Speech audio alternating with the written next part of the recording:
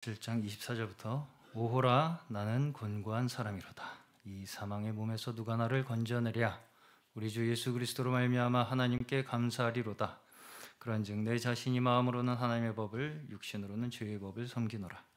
그러므로 이제 그리스도 예수 안에 있는 자에게는 결코 정죄함이 없나니 이는 그리스도 예수 안에 있는 생명의 성령의 법이 죄와 사망의 법에서 너를 해방하였음이라 율법이 육신으로 말미암아 연약하여 할 수 없는 그것을 하나님은 하시나니 곧 죄를 인하여 자기 아들을 죄 있는 육신의 모양으로 보내어 육신의 죄를 정하사 육신을 좇지 않고 그 영을 조차 행하는 우리에게 율법의 요구를 이루어지게 이루어지게 하려 하심이니라.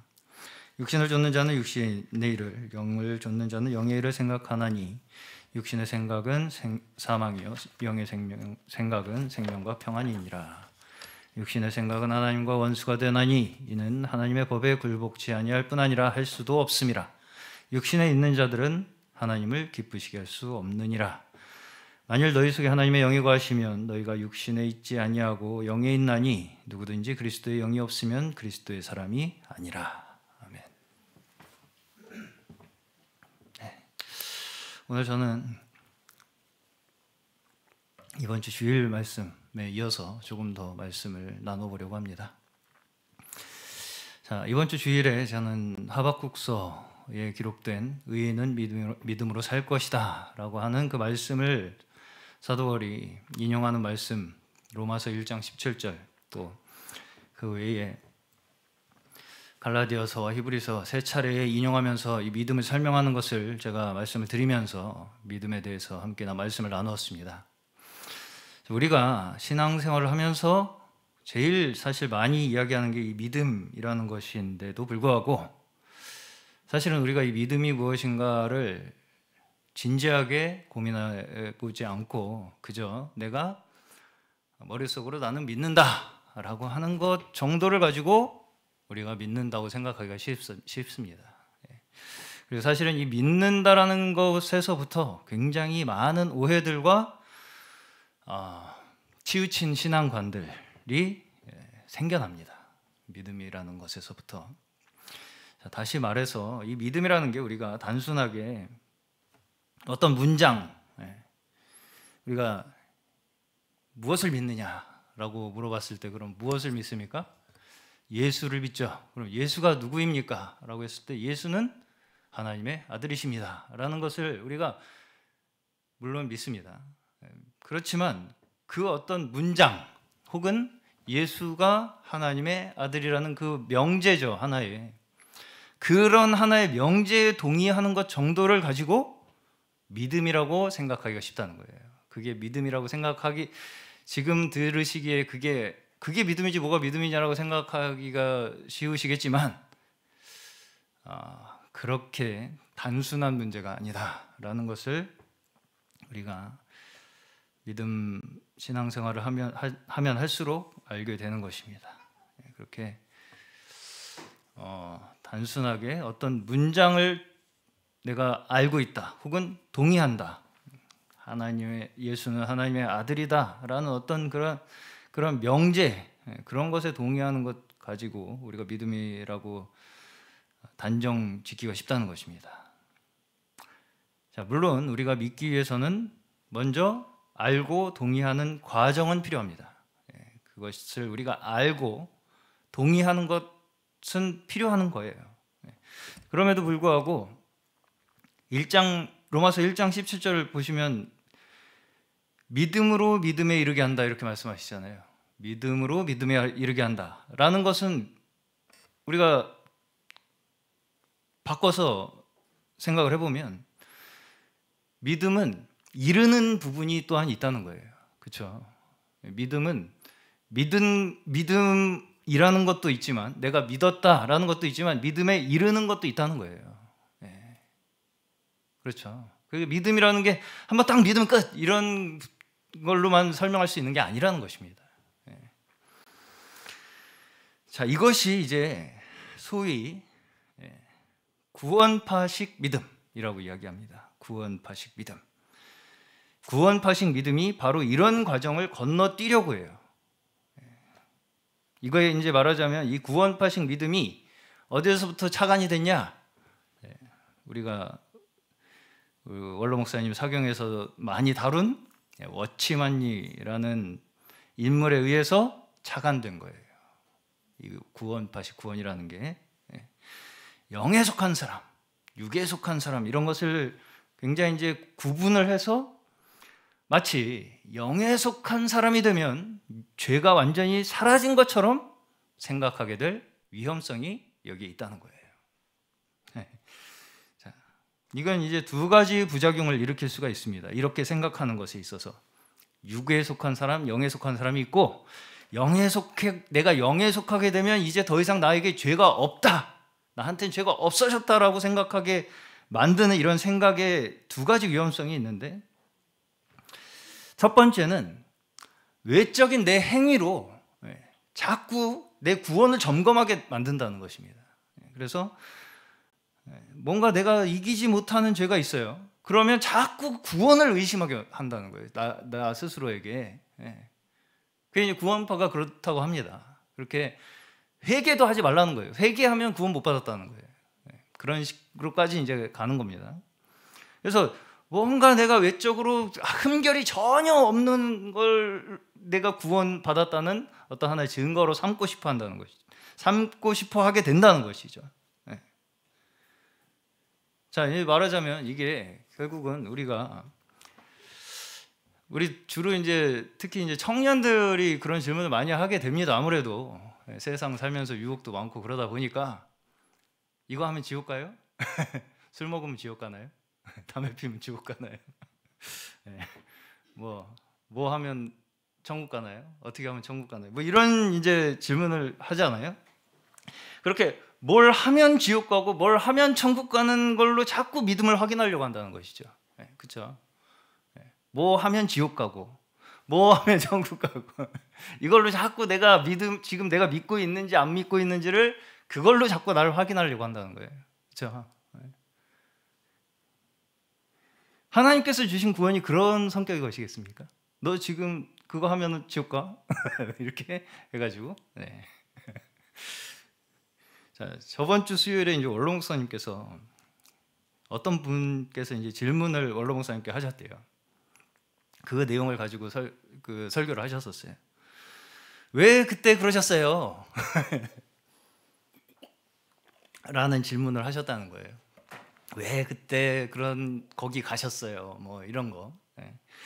그거는 영 영적인 거 아니지 않나요? 뭐 이런 거. 그렇죠? 네. 그거는 육에 속한 거 아닌가요? 그 행동은. 네. 그런 질문이죠. 결국은 어, 그때 왜 그렇게 하셨어요? 영에 따라 하셨어요? 육에 따라 하셨어요? 그렇죠? 그런 질문이에요. 결국은 그렇잖아요. 그렇죠? 아, 내가 보기엔 그거 약간 내가 보기엔 육의 기운이 느껴지는데 육체의 기운이 느껴지는데 영으로 해석을 좀 해주세요 저한테 어? 영으로 해석한 것이었음을 저한테 좀 증명 좀 해주세요 이렇게 네. 그런 질문입니다. 음. 왜 과거에 그런 질문 그런 일을 하셨습니까? 라는 이제 질문을 하는 것이죠. 그러면 그때의 행동이 믿음에 의한 것이냐 아니면 그때 목사님의 욕심이 거기 들어있었냐? 그거잖아요, 결국은. 네. 그거 알고 싶다는 거예요. 아니겠어요? 네. 그 의도가 거기에 속에 들어있었어요? 안 들어있었어요? 목사님. 네. 그걸 물어보시는 거잖아요. 그래서 그건 뭡니까, 결국은? 이제까지 걸어온 모든 한 걸음 한 걸음의 길이 순수해, 순수해가지고, 한 점, 일점, 일의 결함이 없이 완전히 영적이어야 되는 거예요. 그렇죠? 네. 그게 믿음이라고 생각하는 거죠. 그게 믿음이라고 생각하세요? 그래야지 속이 시원해, 내가. 그래야지 안심이 돼. 아, 내가 영적 영적으로 살고 있구나. 내가 구원 받았구나. 내가 믿음이 있구나. 이걸 내가 1.1의 이제까지 영적으로 삶으로써 확인받고 싶어 한다고 자꾸 사람이. 예. 그렇죠? 그래야지 뭔가 깨끗한 결과를 내가 가지고 있을 것처럼 그렇죠? 그렇게 생각한다 사람이. 그래서 아주 조심조심 하나하나 그냥 이게 영적인가 육적인가 꼬치꼬치 그냥 따져 물어가지고 그렇게 살게 하는 게 하나님의 뜻일까요? 과연 그렇게 꼬치꼬치 이거 영적인가 아닌가 육적인가 아닌가 꼬치꼬치 따져서 너 실수하면 지옥 가. 네, 그 과연 하나님의 뜻일까? 이거 한번 우리가 깊이 생각해 볼 문제입니다. 여기 로마서에서도 그렇고 믿음에 있어서의 예를 드는 인물이 대표적인 인물이 아브라함입니다. 수요일 날도 어, 원로 목사님께서 아브라함 이야기를 하셨어요. 자, 아브라함을 보면 아브라함이 이제 믿음의 조상이라고 하지 않습니까? 아브라함이 아브라함의 인생을 보면 그럼 일점 실수가 없이 아주 그냥 깨끗하게 그냥 영적으로 그냥 그렇게 살았습니까? 그렇게 살았어요 아브라함이. 자, 우리는 성경에 기록된 그 인물들을 보면서도 뭔가 그렇게 이제 뭔가 영적이라고 생각, 영적이라고 이야기하는 그런 사람들을 보면서 그 행동을 그대로 따라하면 영적인 될 것처럼 내가. 그렇게 기대를 하면서 그런 사람들을 봐요. 아브라함이 했던 대로 그대로 그런 아브라함이 했던 그대로. 그러면 막 아내도 팔아먹고 막 그래야 되는데. 그 과정을 다 그대로 했 그러면 그래 그렇게 치면 전반부는 아, 아브라함이 육적이었다고 치고 그럼 후반부는 영적이었다고 생각하면 되겠습니까? 후반부는 영적이라서 그러면 전반부는 따라하지 말고 후반부는 따라해라. 어디서부터 따? 어디서부터 따라하면 될까요? 어디서부터? 이삭을 바치고 나서부터? 하나님께서는 그 전부터 계속해서 아브라함을 부르고 인도하셨죠. 갈대 우르에서부터 인도하셔 내셨잖아요. 그럼 그 발걸음은 영적이 아닙니까? 육적입니까? 어떻게 어떻게 생각하시나요? 그러면 어디부터 따라하면 되겠냐는 거예요. 그걸 우리가 영적이 되기 위해서 그렇죠? 네. 믿음의 조상 아브라함을 우리가 따라서 믿음을 가지기 위해서 아브라함의 어디에서부터 우리가 따라하면 우리가 그 아브라함의 믿음을 가질 수 있겠느냐고요. 그렇게 얻을 수 있는 게 믿음일까요, 과연? 로마서 15장 4절에 보시면 무엇이든지 전에 기록한 것은 우리에게 교훈을 주려고 한 것이며 성경이 주는 인내와 위로로서 우리로 하여금 소망을 가지게 하려고 한 것입니다. 예. 전에 기록한 것 예, 무엇이든지 전에 성경에 기록한 것은 우리에게 교훈을 주려고 하는 것인데 그 성경이 주는 교훈이 뭐냐면 인내와 위로로 소망을 가지게 하는 교훈이라는 거예요. 인내와 위로로 소망을 가지게 하는 교훈. 네. 자, 아브라함을 통해서 우리에게 주, 교훈을 주시는 것이 아브라함을 잘 따라해라. 너도 너희도 라고 하는 교훈이겠습니까? 네. 지금 이렇게 이제 말씀을 제가 드리면 당연히 아니라고 생각이 드시겠죠. 우리가 음, 그게 아니겠지. 네. 하지만 사실상 우리의 삶의 현실 속에서 우리가 이걸 믿음으로 적용시킨다는 것은 그리 녹록치 않습니다. 예. 지금 우리가 단순하게 아 그래 아브라함 따라하는 게 믿음은 아니지. 하나님이 아브라함을 인도하신 게 믿음이지라고 우리가 단편적으로 심지어 지금 받아들일 수도 있겠지만 그럼에도 불구하고 내 삶의 현실에서 그 믿음이 나에게 적용되기란 또 다른 문제라는 거예요. 왜냐 왜냐하면 우리는 뭔가 당장의 결과를 확인하고 싶은 조급함이 우리 마음속에 있기 때문이에요. 예. 지금 당장에 내 눈앞에 내가 구원받았다라고 하는 증거를 확인하고 싶어 하는 조급함이 있기 때문이라는 거예요. 한마디로. 지금 내가 한 결정이 영적인가 육적인가? 지금 내가 한 이 결정이 영적인가 육적인가? 그래서 아주 내가 영적인 일로 영적으로 아주 판명된 일로만 내 인생이 쭉 이어져 가야만 뭔가 나에게 보상이라는 것이 떨어질 것처럼 생각한다. 그걸 믿음이라고 생각한다는 거예요. 우리가 잘못하면 네. 자 다시 말씀드려볼게요. 아주 내가 영적인 것만 선택하고 살다 보면 그 삶을 통해서 내, 나에게 뭔가 보상이 올 거라고 생각하는 그것을 믿음이라고 생각하기가 쉽다고요. 우리가. 네. 자 만일 이 워치만 이식, 구원파식 이 구원이 사실이라면 우리가 진짜 구원 받았다면 뭔가 호련히 변화하던가 네, 둘 중에 하나는 돼야 됩니다. 아니면 완전 무결하게 예수와 같은 삶을 살 수 있게 되어야 합니다. 그렇잖아요. 네. 호련히 변화하던가 영적인 존재가 되던가 아니면 아주 영적으로 내 인생이 완전히 예수와 같은 삶을 살아야 된다고요. 살 수가 있, 게 돼야 된다고요. 근데 현실은 그렇지 않잖아요. 우리의 현실은 그렇지 않잖아요. 그러다 보니까 특히 그런 사상, 그런 말하자면 이거 이거라고 하는 그런 식으로 구원을 받아들이는 그런 사상으로 신앙생활 하신 분들에게 있어서요. 더 삶에 있어서 큰 부조화들이 일어나는 걸 우리가 볼 수 있게 되는 거예요. 네. 왜? 현실은 그렇지가 않으니까. 내 현실은 그렇지가 않으니까. 당장의 워치만이 본인부터가 저는 그런 함정에 빠졌다고 생각이 듭니다. 워치만이 본인부터 그런 함정에 빠져 있어요.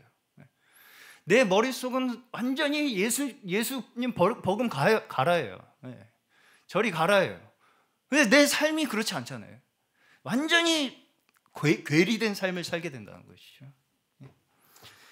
이것이 신령한 것을 신령한 영적인 것 영적이라는 것을 어떤 외적인 방법 그렇죠 모양 어떤 모양 어떤 증거 이런 데서 찾으려고 하다 보니까 자꾸 뭔가 숨기게 되는 거예요. 그러니까 자꾸 숨겨. 어. 그러니까 내 결, 결함을 숨겨야 되는 거예요. 자꾸 내가 영적으로 보여야 되니까 어. 본능적으로 숨기는 것입니다. 그건 그리고 꾸미게 되고 자꾸 네. 나 영적인 것처럼 보이게 자꾸 꾸미, 꾸미게 되고 스스로를 이러한 모습들이 그런 사람과 그런 심지어 단체들이 보이는 공통적인 모습입니다. 네, 그런 말하자면 그런 식으로 형성된 우리는 굉장히 영적이다. 우리는 완전히 선택된 단체다라고 하는 단체일수록 자신들의 약점, 비행을 어떻게든 숨기고 피하고 외면하려고 하죠. 네. 변명하려고 하고. 네. 그러면서 이제 내가 완전히 영적이 될 수 있다고 착각함으로써 아예 현실 삶, 현실에 대해 삶 자체를 외면하게 된다는 거예요. 네. 말하자면 내 영은 진리를 깨달았기 때문에 구원 받았어요 이미. 네, 난 구원 받았어 끝. 그렇기 때문에 이제 현실에서 일어나는 일은 하찮게 보이는 거예요. 야, 이 현실, 이 시궁창 같은 현실은 하찮게 보이고 더 이상 이제 관심을 별로 안 두고 싶어 하게 된다는 것입니다. 그렇지만 또 현실을 아예 살지 않을 수는 없기, 없다 보니까 어떻게 되냐면 뭔가 어수선해요. 항상 삶이 저 주변이 정리가 되지 않고 뭔가 사람과의 관계에 있어서도 항상 공감이 있고 떨어져. 이 사람 뭐, 뭐 뭐야 이거. 제가 인사를 잘 안 해요. 네. 그런 분들은 딱 만나면 이게 처음에 일반적으로 사람이 사람과 사람이 만나면 뭐랄까요? 안부부터 묻잖아요. 좀 시덥지 않아도 잘 지내셨냐, 밥 식사 하셨냐 이런 게 인지상정 아니겠습니까? 네. 뻔해도 그렇잖아요. 근데 굉장히 그런 게 없어요. 그런 게 전혀 없이 그냥 갑자기 어, 자기 하고 싶은 말 딱. 그런 이제 공감 능력이 떨어진다고 우리가 얘기하지 않습니까? 그런 게. 음. 그러니까 그 사람 자체의 의미를 두지 않는 거예요. 그 사람 자체가 별 의미가 없어요. 그 사람. 항상 뭔가 머릿속에 원대한 이상만 가득 차 있어요. 그래가지고 그런 원대한 이상을 같이 공유한 사람끼리만 동질감을 가지려고 합니다. 자꾸. 네. 그렇죠? 네. 우리는 이렇게 큰 뜻이 있는 사람들이야. 하는 그 사람들끼리만 굉장히 으쌰으쌰 하나가 된다고요. 네. 심지어 본인들끼리도 서로가 그렇게 목적이 아니에요. 의미도 없고. 그, 그 사상, 그 이상이 중요한 것이.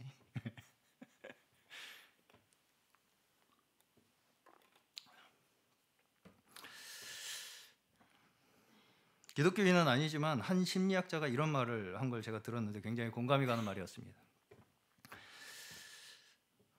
세상을 탓하기 전에 네 방 청소부터 해라.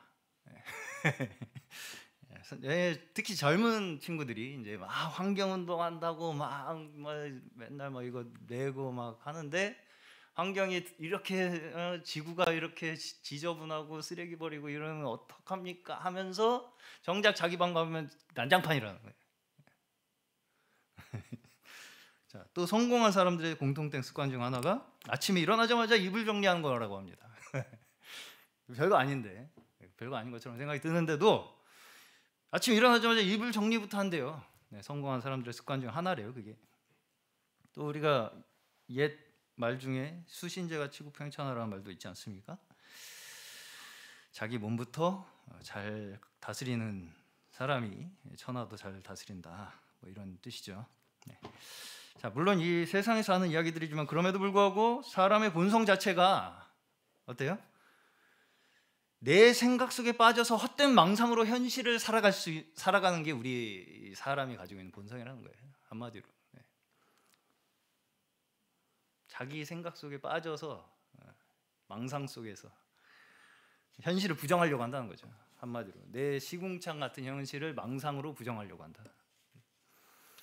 최근 아주 기가 막힌 사건 하나 있지 않습니까? 여잔지 남자인지 모를 희대의 사기꾼이 나타나가지고 말도 안 되는 네, 온 나라가 시끌시끌 보디가드를 대동하고 다녔대요. 네, 보디 그리고 그러면서 이제 일론 머스크하고 자기가 펜싱 시합을 할 거라고 하면서 네, 우리나라 유명 펜싱 선수한테 접근을 했다고 합니다.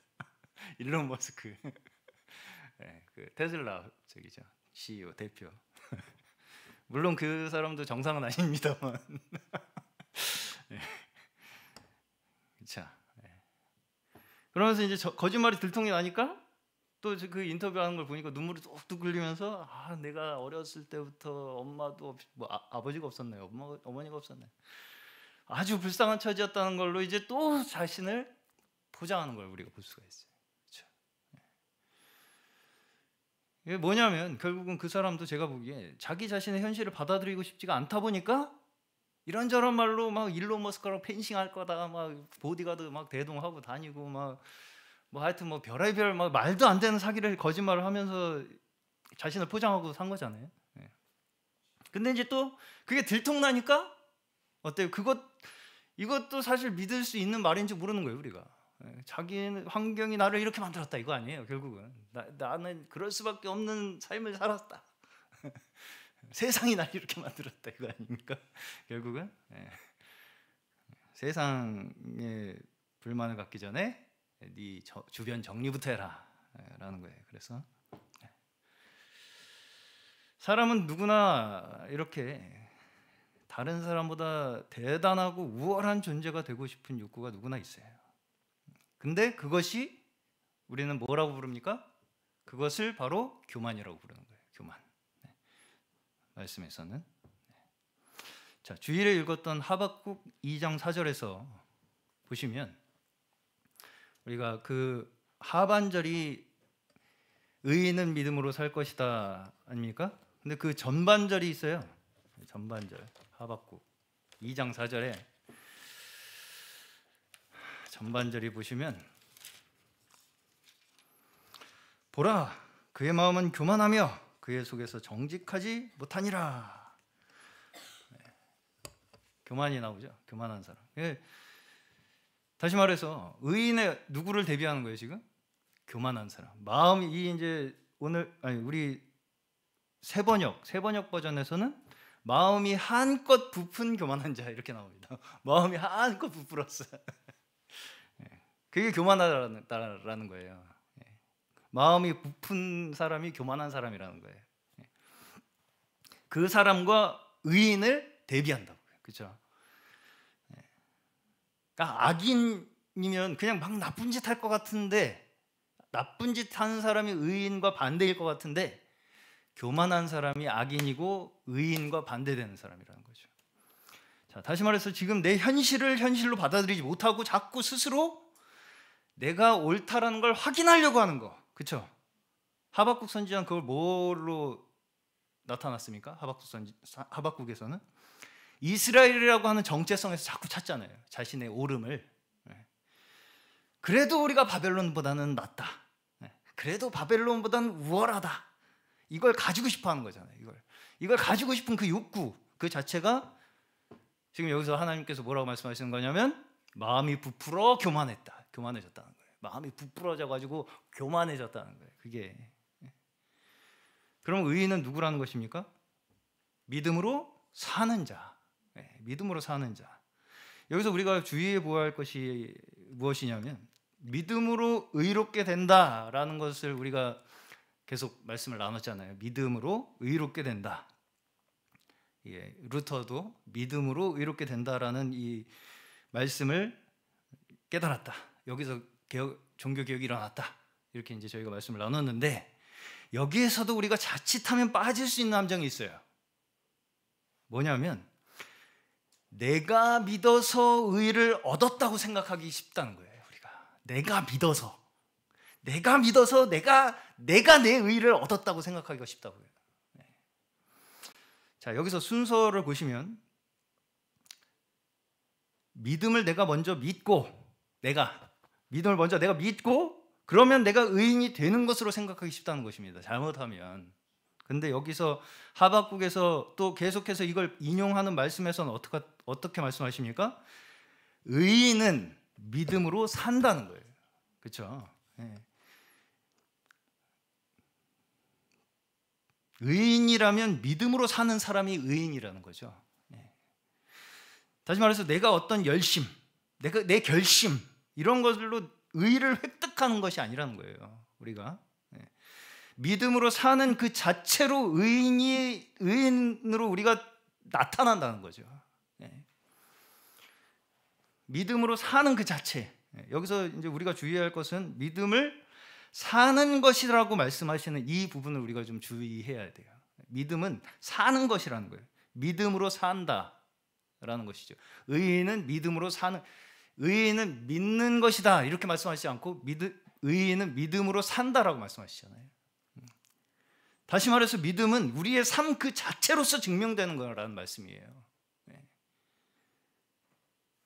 우리가 사는 그 인생 그 자체로 믿음이 증명된다는 거예요.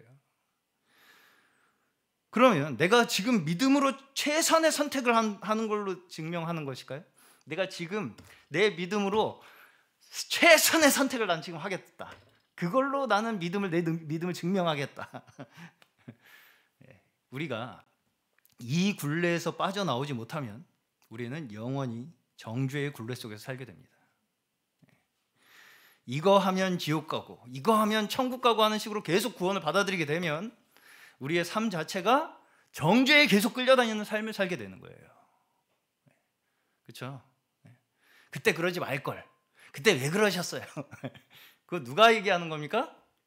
죄송하지만 사탄이 하는 얘기죠. 그렇죠? 네.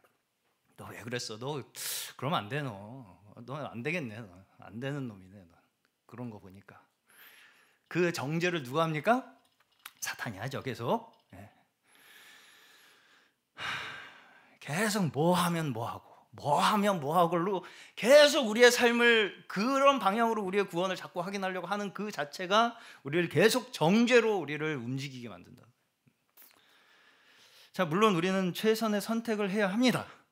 그러나 그러나 아브라함의 예를 봤을 때 그 선택이 갈 바를 알지 못하는 선택이에요. 예. 우리의 선택이 심지어 겉으로 봤을 때 우리의 생각에 어 이거 왜 이러지? 하는 선택이 될 수도 있어요. 네. 올바르지 않은 것처럼 보일 수도 있습니다. 우리의 선택이. 자, 그러나 중요한 건 무엇이냐? 중요한 것이 무엇이냐?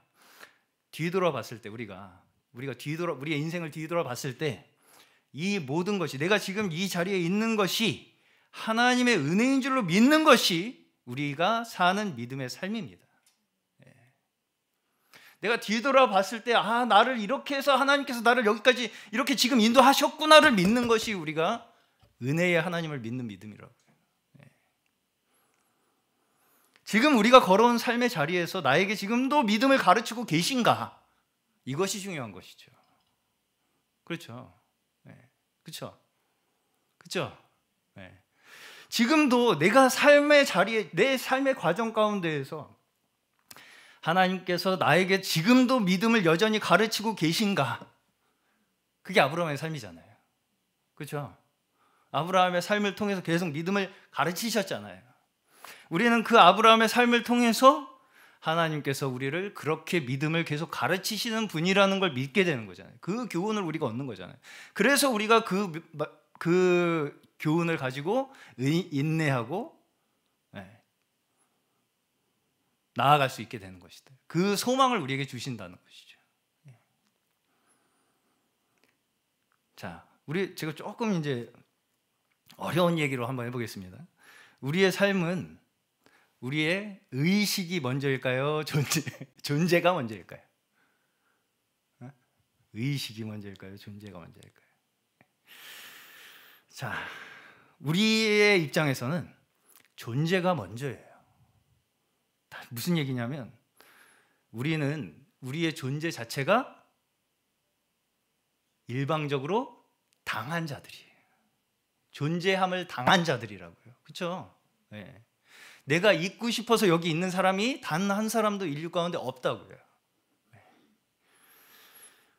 우리의 뜻과 계획이 전혀 여기에 개입되어 있지 않다는 거예요. 우리의 존재 자체에 우리의 뜻과 우리의 계획이 전혀 개입되어 있지 않다는 거예요.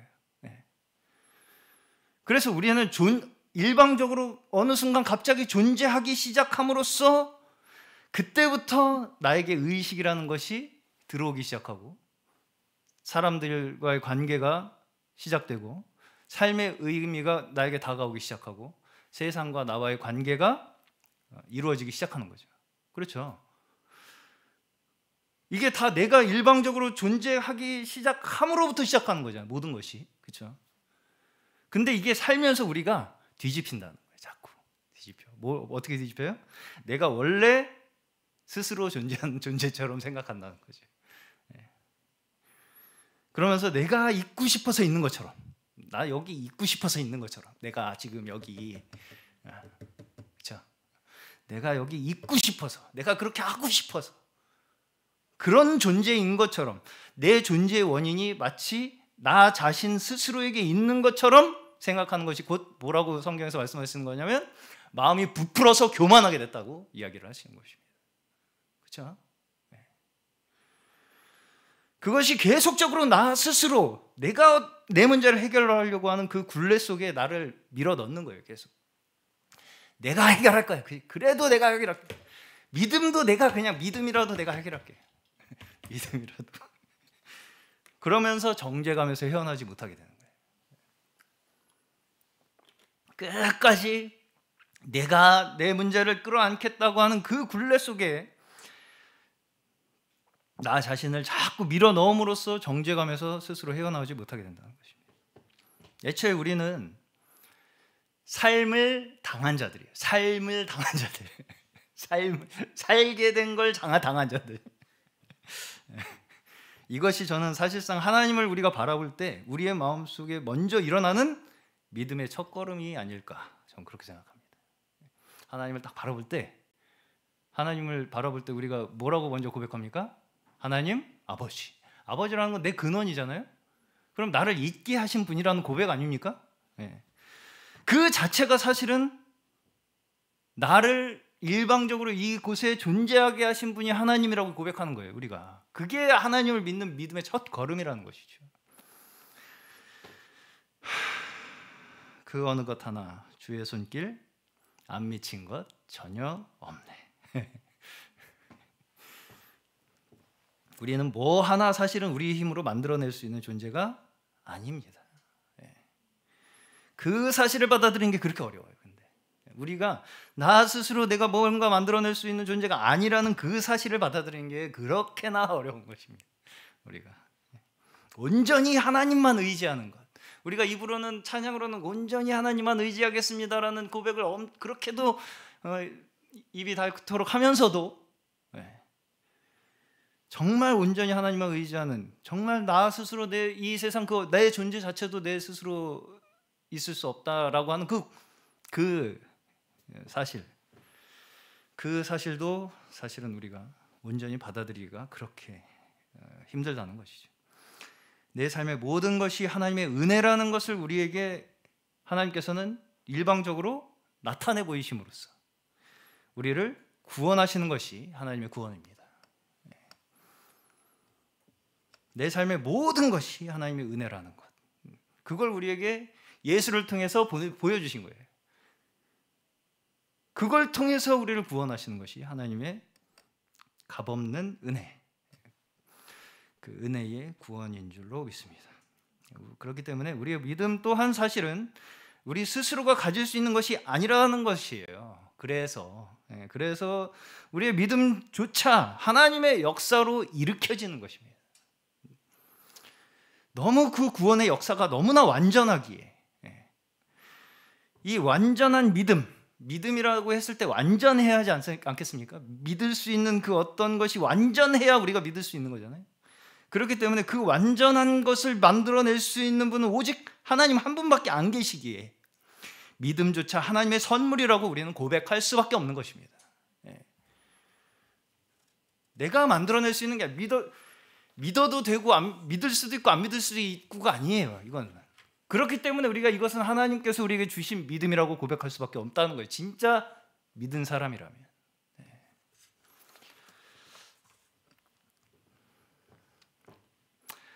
로마서 7장에서 사도 바울 또한 이것을 이야기하고 있습니다. 오호라 나는 공고한 자로다. 오늘 제가 앞에서 먼저 읽은 말씀 본문입니다. 이 사망의 몸에서 누가 나를 건져내랴. 우리 주 예수 그리스도로 말미암아 하나님께 감사하리로다. 그런즉 내 자신이 마음으로는 하나님의 법을 육신으로는 죄의 법을 섬기노라. 그러면서 이제 8장으로 넘어오면서 그 이어지는 구절이 무엇입니까? 그러므로 이제 그리스도 예수 안에 있는 자에게는 결코 정죄함이 없다. 네, 이 해답이 어, 내 자신 그 지금 뭐예요? 하나님의 법과 죄의 법이 내 나에게 지금 동시에 존재하고 있다는 거예요. 근데 이 해답을 뭐라고 말씀하시냐면 나에게 정죄함이 없다는 걸로 해결하겠다는 거예요. 그렇죠? 네. 예수 그리스도 안에 있는 자에게는 정죄함이 없다는 걸로 그 문제의 답이 우리에게 왔다는 거예요. 네. 이는 그리스도 예수 안에 있는 생명의 성령의 법이 죄와 사망의 법에서 너를 해방하였다라고 말씀합니다. 자, 여전히 우리에게는 하나님의 법과 죄의 법이 공존하고 있어요. 네, 이거를 그렇게 내가 영에 속한 사람이 되면 죄는 싹 승리하 그렇게 생각하면 굉장히 위험한 겁니다. 그게 위험한 거예요. 그렇게 생각하는 게 위험한 겁니다. 네. 그래서 너무나 많은 오류들이 거기서 발생하는 거예요. 네. 공존하고 있어요. 여기 그렇게 말씀하지 않습니까?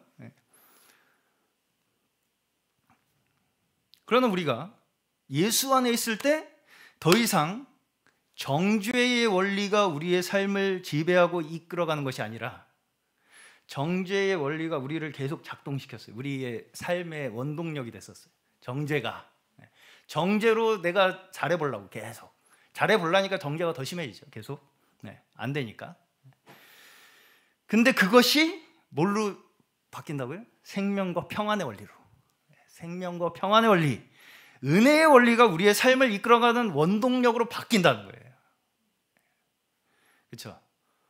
뭐 해만 지옥 가고 뭐 하면 안 되고 뭐 하면 되고 안 되고 이런 원리 자체에서 우리가 뛰어넘게 된다는 것이죠. 그럼 여기서 자꾸 걱정을 합니다. 정죄 없이 내가 과연 잘할 수 있을까? 그것까지도 대답을 하세요. 네. 사도 바울은 그런 질문까지 있을 것까지 아, 다 예상을 하고 은혜를 위해서 죄 가운데 거하겠느냐? 이렇게 말씀을 하신단 말이에요. 네. 정죄라는 마약 중독에 헤어나지 못해 우리가. 정죄로 내가 이제까지 살아온 그 내 인생. 그렇게 해서 내가 잘해보려고 했던 그 내 인생. 거기서 헤어나오질 못한다. 그러나 성령의 법이 이 정죄 자체에서 해방하였다는 것을 믿는 데서부터 사실은 우리의 삶이 적자의 삶에서 흑자의 삶으로 돌아선다는 거예요. 네, 그렇죠. 정죄는 계속 우리를 깎아먹잖아요. 우리의 살, 살을 우리가 스스로 우리의 살을 깎아먹는 인생이 정죄의 삶이잖아요. 그게 양의 양으로 돌아서는 거, 흑자로 돌아서는 거는 오직 은혜와 생명과 성령의 법으로 많이 가능하다는 거예요. 네. 그렇죠? 네.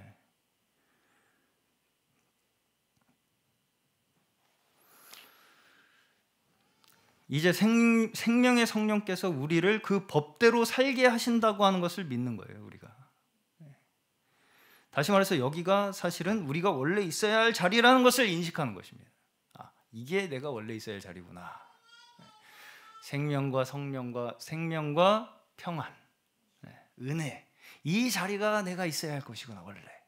이걸 우리가 인식하는 그 순간에서부터 우리의 원래 우리 이전에 정죄의 삶에 정죄로 돌아가던 삶이 은혜로 이제 돌아가기 시작하게 시작한다는 것입니다. 그럼에도 불구하고 끝까지 우리는 내가 믿었다라고 하는 스스로의 증명으로 구원을 자꾸 확인하고 싶어하는 욕구가 좀처럼 사라지질 않아요. 내가 믿었다. 내가 내가 내가 내가 내가 내가 믿었다. 내가 믿은 보상으로 나는 정당하게 의를 획득하였다. 이 욕구가 점처럼 좀처럼 우리 우리에게서 사라지질 않습니다. 이 모든 것이 은혜로 우리를 있게 하신 하나님께서 은혜로 우리를 존재하게 하셨어요. 하나님은 존재 자체도 은혜로 하신 거예요. 믿음도 은혜로 주셨고요. 구원도 은혜로 주셨고요. 은혜로 하나님의 자녀로서의 삶을 또한 살게 하시고 계신다는 그 고백으로 점차 우리의 삶이 바뀌어 나가는 것이 바로 우리의 믿음의 삶인 줄로 믿습니다.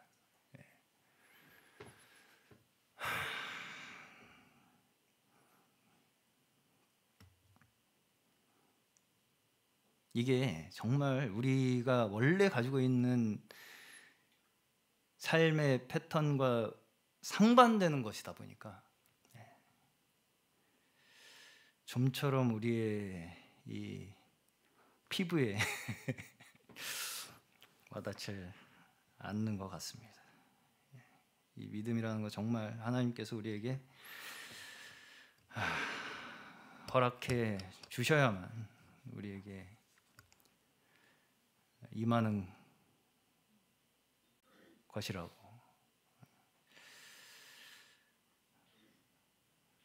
고백하는 저희 되었으면 좋겠습니다. 자, 너무 지금 우리의 모습, 우리의 현재, 그러니까 너무 자책에 빠지잖아요. 우리는 아, 나 또 이랬네, 또 막 이런 처지에 대한 비관에 빠지지 않으시길 축원합니다. 네, 지금 현재 내가 왜 나는 왜 이럴까, 뭐 내 어, 상황은 왜 이럴까라는 어떤 비관 속에 너무 빠지지 않으시길 축원하고요. 내 심지어 내 믿음 없음을 주님 앞에 우리가 고하는 그 자리에서부터 하나님께서는 우리에게 은혜로 믿음을 계속해서 더해 주실 것을 믿습니다. 자, 로마서 8장 28절 마지막입니다. 하나님을 사랑하는 자, 곧 그의 뜻대로 부르심을 입은 자들에게는 모든 것이 합력하여 선을 이루느니라. 여기에서조차 우리는 이 모든 것에 우리가 영적이라고 생각하는 것만 모든 것에 넣고 싶어해요.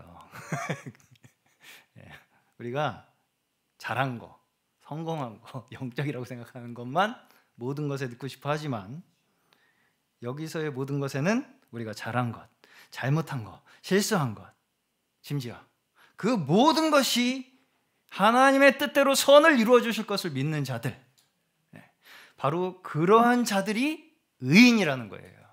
의인은 막 내가 잘해서 의인이 되는 게 아니라 그 모든 과정을 통해서 나를 선하게 인도하실 것을 믿는 그 믿음을 가진 자가 의인이라는 것입니다. 네. 그, 그런 자들이 그의 뜻대로 부르심을 입은 자들이다. 이렇게 말씀하시는 거죠. 그러니까 우리는 항상 내가 이제까지 걸어온 내 발자국이 하나님께서 나를 선으로 인도하시는구나. 이걸 지금 계속 고백하는 그 믿음의 고백이 우리에게 끊이지 않아야 할 것으로 믿습니다. 그래서 우리는 미, 과거가 문제가 아니에요. 지금 내가 하나님 앞에 믿음으로 서 있는가가 중요한 것입니다. 지금 그렇죠? 과거가 아니라 주께서 주시는 자유와 평안으로 우리의 믿음의 삶을 끝까지 걸어 나아가는 저희 모두 되시기를 주님의 이름으로 간절히 축원합니다.